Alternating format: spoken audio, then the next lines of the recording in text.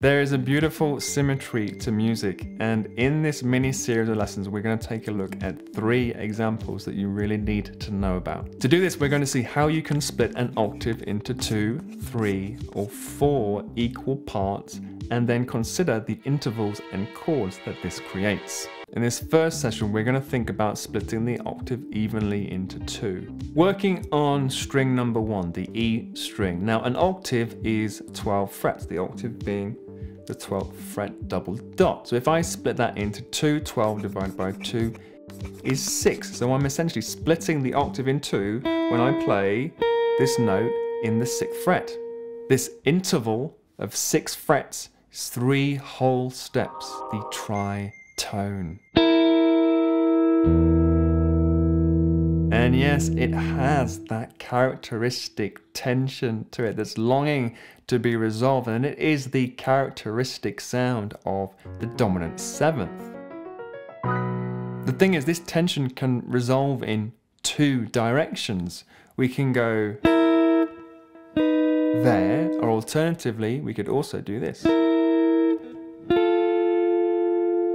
think about that in some context. This first example would be found in, that's the D shape of the F sharp 7. So this tritone here is the flat 7 and 3 of that chord, would be E and A sharp. That, if that's the 5, 5, 4, 3, 2, 1, it wants to resolve to the note of B, the B major chord. 5, 1 interesting to know that you can also resolve a dominant seventh to a minor chord. So this could also resolve to a B minor. You can see that also in a minor key. So that's the first possibility. The alternative is to think about this tritone as part of this chord. Now this is a C7 I think of it in the G shape rooted upon string 6. So this is then the 3 and the flat 7 of that chord. C da, da, da, da, da, wants to resolve to F. So C7 resolves to F. You can hear that resolution. And again, that C7 could also resolve to an F minor just as easily. In summary then, and perhaps the easiest way to think about this is that the tritone will resolve to a major or minor chord whose root is a half step above either of the two notes of the tritone. So if it's in a dominant seventh, the tritone can be found in the major scale. If we consider the C major scale, the tritone occurs between the fourth and the seventh degrees of the major scale, in this case the F and the B. There it is.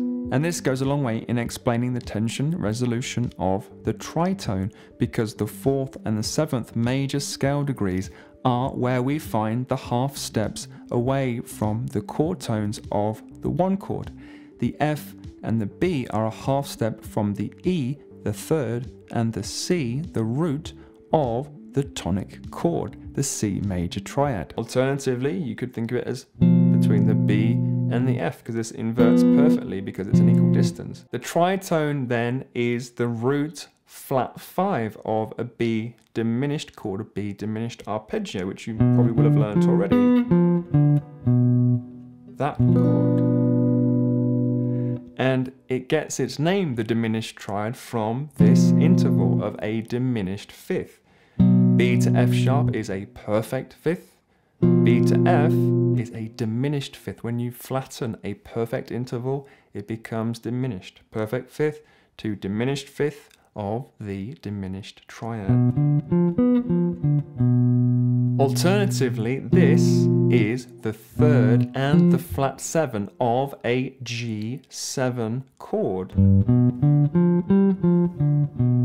G7 arpeggio, 3 and 7. Let's raise that. The octave, there's the root.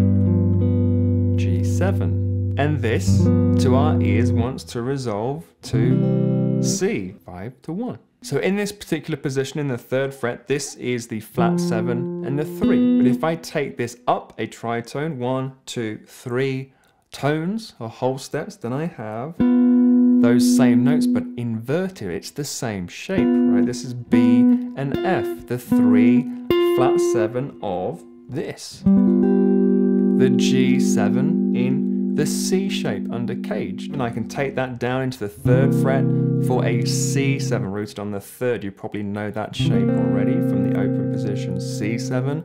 I can take that a whole step for a D7 and with that G7, I then have the one, four, five for a blues in the key of G. But what's special about the tritone is that you can even play through a blues without the root notes. This tritone is what's considered a shell voicing. It is giving you the key chord tones of the dominant seventh, namely the third for that major sound and the flat seven for that bluesy dominant sound. So you can go through a blues progression with just the tritone. Then here comes the fourth chord. You can hear it, right?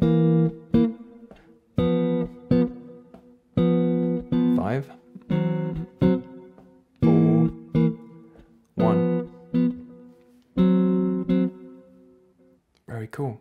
So knowing the shape of the tritone is huge in a blues context. Firstly, for being able to hit those sweet notes, those chord tones in your soloing, but also then to be forming and getting a deeper understanding of the seventh chords. This tritone shape on the fretboard is also the foundation for some more expensive chords, shall we say. So something like this, being a G7 sharp 5 or maybe this being a G7 flat 9. We'll come back to that one later. On the circle of fifth, the tritone notes sit directly opposite one another. See B at 5 o'clock, you'll find the F opposite at the 11 o'clock position. And that works for all of the tritones. How the notes of the tritone are labeled will depend on the context, how it is being used. We saw earlier that F to B was considered a diminished fifth, a root to a flat 5, but F to B, when you invert it, will be considered an augmented fourth, or a sharp 4, or sharp 11, something like you will hear in the F Lydian mode. In that way, the tritone also plays a part in the signature sound of each of the major scale modes, but that's for another day. Now to practice this and start implementing a couple of these ideas, you want to be nice and confident with the shape of the tritone, remembering that it will be the same shape across the string sets with the exception of strings 3 and 2, which always differs by that one fret. So if I take this B and F across the string sets, it's the same shape going through the inversions, but as I hit strings 3 and 2, we have that frets gap but that gets closed again on strings 1 and 2. Once you've learnt the shapes, play one again and consider which dominant 7th chord that is coming from.